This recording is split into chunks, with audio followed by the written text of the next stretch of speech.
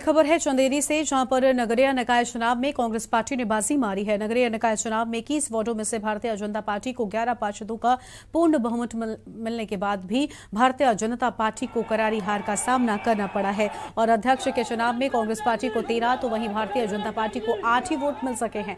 यूँ कहें तो चंदेरी नगर में एक दिलचस्प मुकाबला देखने को मिला है। यहाँ कांग्रेस पार्टी ने बाजी मारी है। नगर अध्यक्ष के चुनाव में भारतीय जनता पार्टी के कई दिग्गज नेता शामिल हुए तो वहीं कांग्रेस पार्टी के भी कई दिग्गज नेता चंदेरी में अपनी पार्टी का अध्यक्ष बनाने की कवायद लगाए, नगर पालिका में डटे रहे। कांग्रेस पार्टी के दशरथ संतोष कोहली ने नगर पालिका चंदेरी में पाँचवें अध्यक्ष के रूप में विजय प्राप्त की है।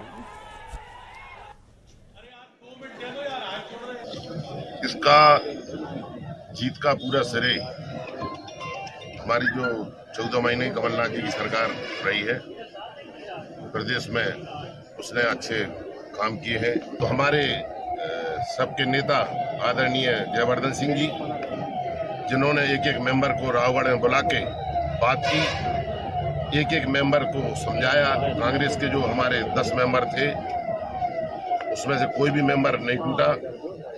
उसका कुशल नेतृत्व हमारे आदरणीय जयवर्धन सिंह बाबा साहब ने किया है। विकास के लिए प्रयास करूँगा और अच्छा काम करूँगा और सब जनता के लिए मेरा आभार पूर्व मंत्री जयवर्धन सिंह जी का आभार करता हूँ, जिन्होंने हमें मार्गदर्शन दिया और मेरा सफल और क्षेत्रीय विधायक जी का भी बहुत बड़ा योगदान है।